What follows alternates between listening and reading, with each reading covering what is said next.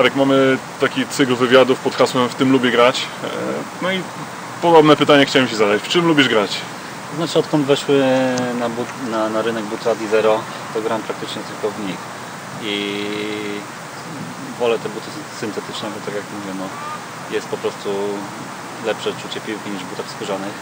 Może niektórzy narzekają, że są buty mniej komfortowe niż buty skórzane, bo te buty skórzane bardziej się dopasują do, sto, do stopy, ale ja preferuję właśnie te buty syntetyczne. A stopa, jak tam ktoś Ci, wiesz, nadepnie, to, to nie boli? Paznokieć nie schodzi za szybko? No, schodzą paznokcie, ale paznokcie schodzą, jak Ci nadepnie ktoś, ktokolwiek na każdy... Na każdy Niezależnie od no, buta, tak? Niezależnie od buta.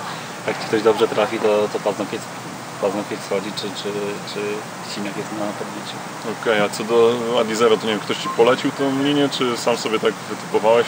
Czym, czym się kierowałeś, od jak Cię podpytam? Jeden z chłopaków przyniósł do szatni, zobaczyłem, mówię, fajny but, przymierzyłem, przypasował mi i, zostałem do nich do teraz. Ale to już w Arce grałeś, czy, czy jeszcze Nie, wcześniej, wcześniej, w Sandecji chyba, te buty są na rynku chyba 4 czy 5 lat. Aha, czy jeszcze No w czasach od, od, od, od nowosądeckich, No.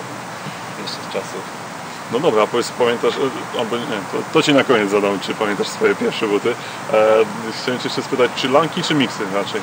Yy, lanki, lanki. Zawsze lanki, Zawsze tak? lanki, no. To znaczy teraz te murawy są chyba w większości już takie Zraszane, nie? Często. no, twarde, ale zraszane, więc, więc pozwala to na to, żeby grać spokojnie w lankach. Aha, widzisz, a ja z kolei kurczę, myślałem, że przez to, że zraszane, to, to bardziej na te miksy. Tak, Eee. tak wielu zawodników e, argumentuje. No ja, ja jestem z tych zawodników, którzy grają raczej, raczej w, butach, w butach lanych, no bo tak jak mówię, te boiska są, mimo że tego, że zraszane, to są, są one twarde, te podgrzewane płyty w większości mają to do, to, to do siebie, że po prostu są trzymane naprawdę w takim stanie, że są twarde.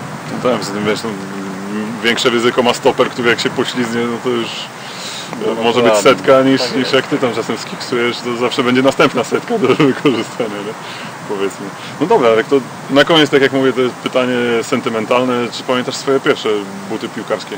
Tak, dokładnie pamiętam, to były stare, klasyczne Copa Mundiale.